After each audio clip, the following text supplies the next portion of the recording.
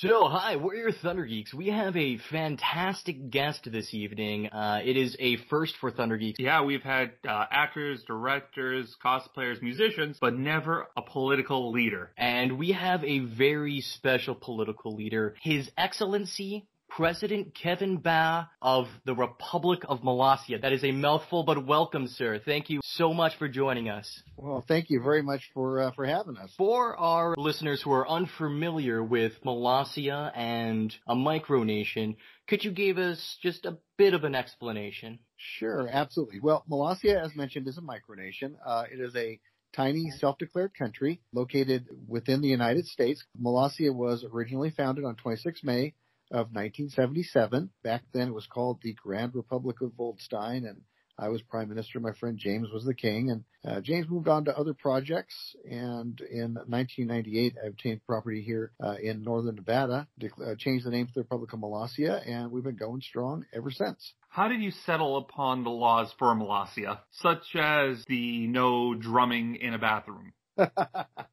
okay. We have a large number of what may seem like really weird laws. For example, no drumming in the bathroom.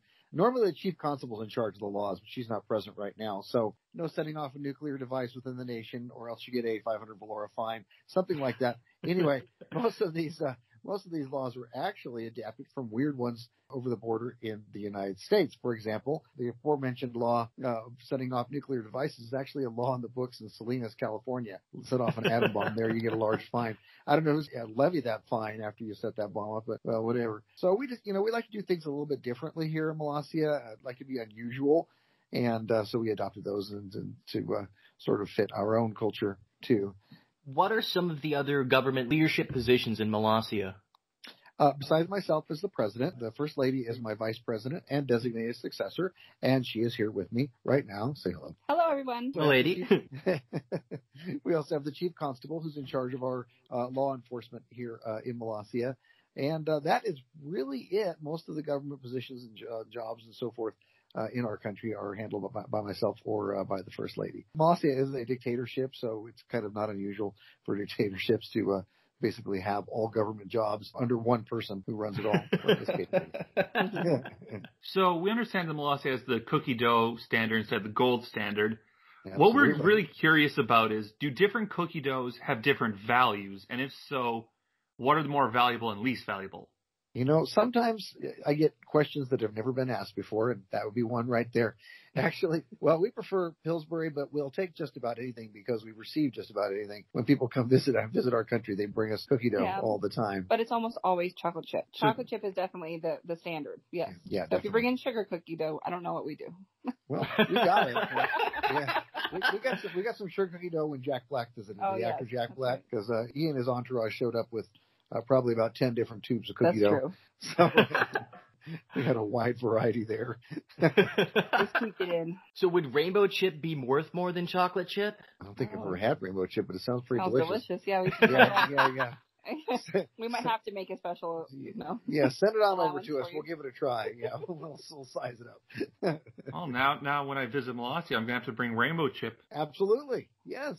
We fully encourage that. Now, are there any special instructions for tourists of Molossia? Well, no, not particularly. Uh, as mentioned, the chief constable has has a wide variety of, of uh, laws and so forth that she'll uh, she'll hit you with when, when visitors first uh, enter the country. And of course, we do uh, stamp passports, and there's a few things you can't bring into the country, like catfish and walruses and so forth, like that. So you have to check your pockets for that. And uh, uh, other than that, wear sensible shoes. And sunscreen. Yeah, and sunscreen when you're coming to visit our dis- distant desert nation. Mm-hmm. Why are walrus and catfish banned in Molossia? Well, I'm glad you asked that question. I just happen to have an answer. And by the way, I have an answer for everything because well, it's my country. If I don't know it, I can make it up. But anyway, uh, back in the, well, back a few years ago, uh, Molossia was going to be featured in an article in FHM magazine, which was kind of a version of Maxim uh, magazine. And oh. instead, they bumped our article in favor of an article about guys that catch catfish with their hands. Uh, it's called, it's called, yes, it's called noodling, and it's something people really do. I don't know why. At any rate, so having done that, we banned uh, we banned catfish. Of course, it's really easy to ban something that you don't actually have anywhere in your country, since we literally have like no standing water in our in our nation. it makes law enforcement a lot easier when you ban something that you don't really have in the country. How did the conflict arise with Mustachistan? With Yes. Helped a friend of mine start his own nation, uh, Mustachistan, and uh, in the process of him growing his nation, uh, he basically claimed most of the state of Nevada, which included Molossia, and that caused some some friction back and oh. forth. And so uh, eventually uh, we had to go to war to uh, uh defeat him, which was sort of pre-established anyway. And, and uh, he wasn't that motivated, and so that's how that war went. And of course, uh, it's important to mention that that Molossia has been involved in like two or three wars, and they're all essentially political satire. Uh, because we're a tiny country and you can't really go to war with another micronation. They're not usually, you know, near enough to you for that sort of thing, which is probably a good thing. Poke fun, if you will, uh, at the idea of wars and why people go to war and so forth like that. We understand you're at war with East Germany as well. Yes, perpetual war with that nation. I'm sure some of our listeners are surprised to hear uh, specifically East Germany uh, after the unification of Germany. Why East Germany? Back in uh, 1983, I was still I was prime minister of uh, Molossia when it was still called the Grand Republic of Vuldstein, and I was stationed in then West Germany, and uh, with the United States Army. And uh, as armies tend to do, we had to get up every now and again in the middle of the night and jump in our tanks and go to our forward staging positions in case the uh, you know the communist hordes should come you know charging across the border there. Well, in my uh, position as prime minister of the country. Uh, uh, was woken up one too many times in late 83. And so I decided to declare war on the nearest East Bloc nation, which was East Germany, and then forgot all about it till about, I think about 10 years ago now. I was going through the uh, records in the Ministry of the, of the Closet and uh, pulled this uh, war declaration out. And I was like, oh, that's really cute. War declaration. East Germany's long gone. Till I did some research and discovered that, in fact, East Germany is not long gone, even though uh, you think it might be. Back in 1973, Fidel Castro of Cuba gave a tiny island off the coast of Cuba to the nation of East Germany. It essentially became East German territory, more or less. And when the unification happened in 90 or 91, something like that, that wasn't addressed in the uh, unification treaty. And so that remains the only outstanding piece of East Germany still left. It's an uninhabited island off the coast of Cuba. Nothing but marine iguanas there. And so because there are no humans, there's no one with whom to arrange peace. And so our war with East Germany will probably go on forever.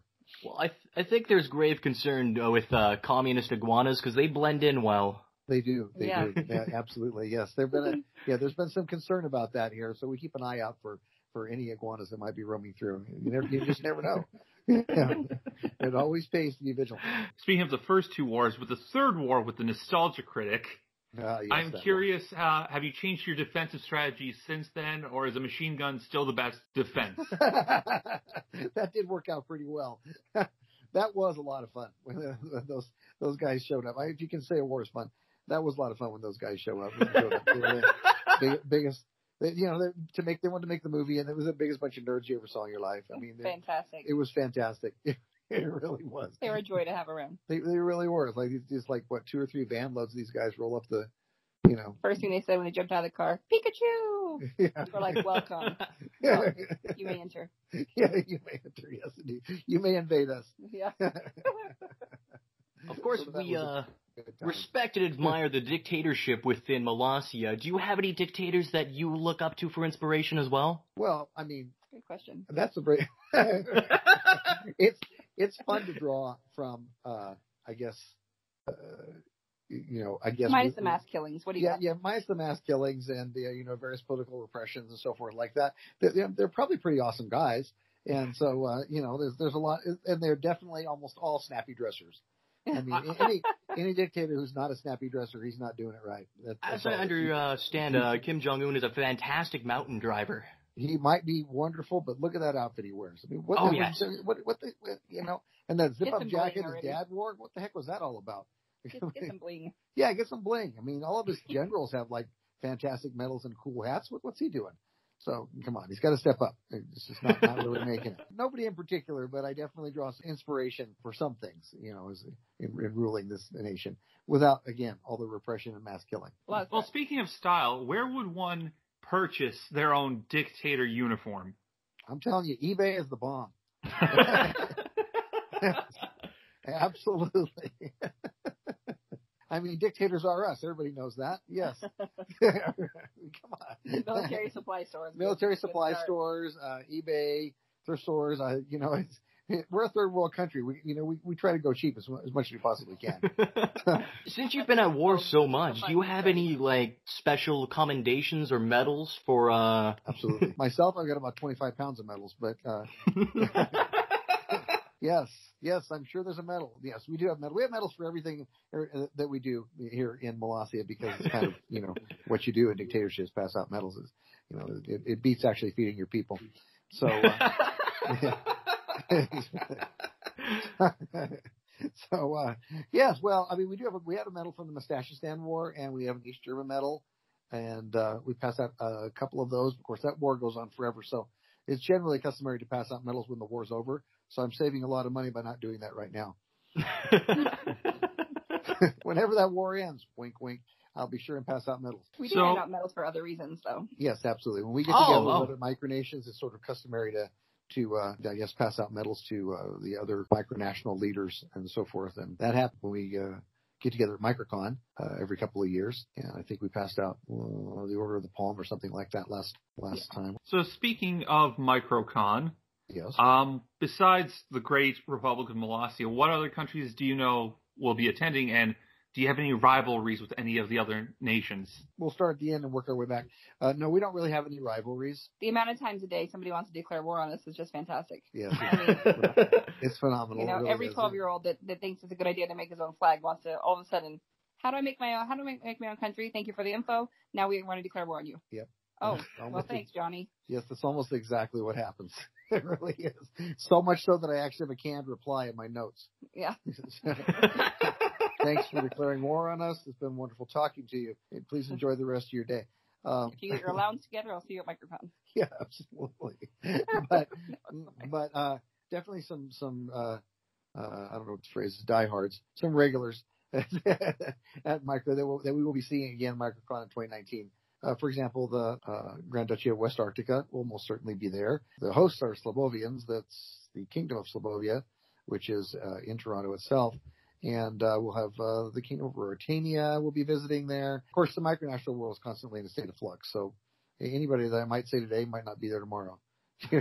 never, never, know. Those guys will certainly be around. They've been around for a while, and it's always a good time. It's wonderful to get together at MicroCon, even the newer micronations, and, and to take, get their take on what it means to have one's own country. There's a lot of different ideas, and it's just absolutely amazing the imagination and creativity uh, that that goes into. I mean, we have a fairly standard country model here in Molossia with borders and flags and money and all that kind of stuff. But uh, others don't necessarily subscribe to that standard model of what a country is. Um, my favorite to, to always point to is uh, yeah, ambulatory. Yeah, the ambulatory states of Obsidia.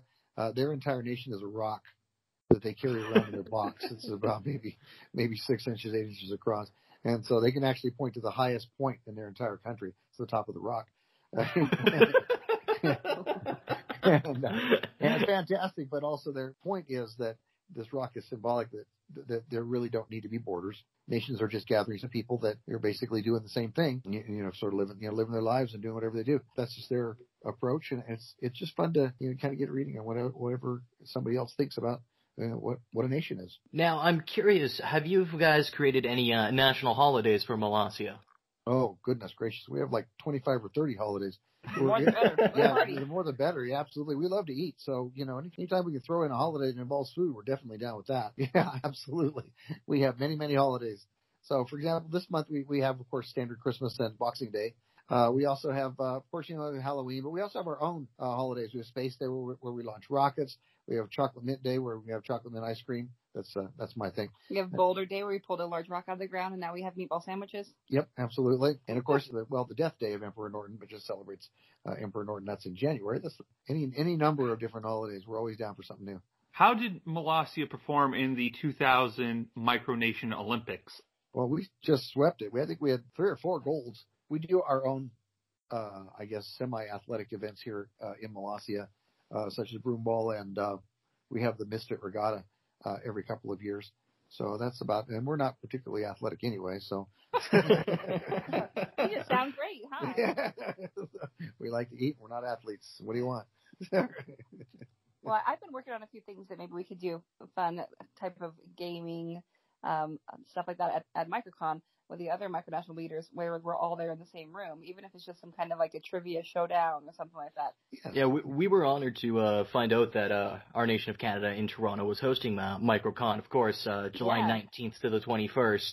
Yep. Mm-hmm. Uh, do you have any advice for um, other individuals who want to form their own nation, other than, of course, never declaring war on Molossia? Yeah, just save your effort on that one. Yeah, there's a, a couple different things I like to throw in. Um, you know, imagination and creativity, something a little bit different than uh, than well, I guess what's going on outside your your your, your self-declared nation. Uh, study up on a little bit of, of history and geography, and know and try to understand how nations work how governments work, what other cultures are like, and then just sort of build from there and see what you can do with the, just the general idea of having one's own nation. That's what we do here, uh, you know, with Molossia. Because really, when you're starting your own nation, really the sky's the limit. But you start from scratch when you say, wake up one day and say, hey, you know, I want to start my own country. Now, what's my flag going to look like? You know, I'm, I'm going to have a flag, of course. Well, it's wonderful if you just happen to like the color purple, but what does it mean? So you got to dig a little bit deeper in your creativity to uh, see what you can put together that gives it you know a little more depth than I just happen to like a piece of purple hanging on a stick. so just kind of learn a little bit about what countries are, what countries do, uh, and then just sort of build from there. Now, one thing we love to do on the show is we love to play a very simple game call, called This or That. All we're going to do is give you two options. We want you to rapid fire the first one that feels right to you. Oh, wow. Okay. Are you a lover or a fighter? Oh, probably a lover. Marvel or DC? I Marvel. Know. Yeah, I like DC. I'm big, I'm big Superman, not the current Superman, okay. but Superman. You're rapid fire, rapid fire. all right, all right, all right. Sorry, sorry. Wow. Okay, go. Star Wars or Star Trek? Star Trek. Would you rather be eaten by a horde of gerbils or a flock of ducks? Oh, ducks. Tacos or pizza? Tacos. Pirates or ninjas? Pirates. Burned to death or frozen to death? Frozen. Pancakes or waffles? Pancakes. Star Trek holodeck or Matrix head jack? Oh, the holodeck. Would you rather wipe with sandpaper or poison ivy? I guess sandpaper. Cats or dogs? Uh, dogs. And one of our most important questions, who has the better booty? Peter Parker, Spider-Man, or Dick Grayson, Nightwing? Peter Parker. Go with Peter Parker.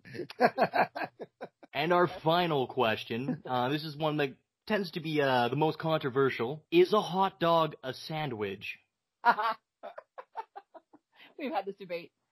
What's your answer there, President Baugh? I don't think it is. Meat between two pieces of bread. I know, I know, I know. You can go into deets on that, but I just don't think it is. It doesn't really have the. It's a hot dog. It's just a hot dog. It's not like a. it's uh, well, maybe, but no, no. I don't think so. No, I don't think it's a sandwich. it's like in a category of its own. other. other. Yeah, it's other. But I can see some controversy there. You could probably break it down to, you know, a sandwich is usually open on all sides of the bread and hot dogs, you know, the bun is not not split all the way, but I, I don't know. It's kind of hard to say. Solving the world's problems one thing at a time. One hot dog at a time. That's yeah. Right. Mr. President, um, First Lady, I am very, very, you know, happy that you joined us here. Uh, of course, uh, our viewers, if they happen to be in the Toronto area, can find you at MicroCon July 19th to the 21st. We can have a hot dog sandwich together. Yes, we'll have hot dogs.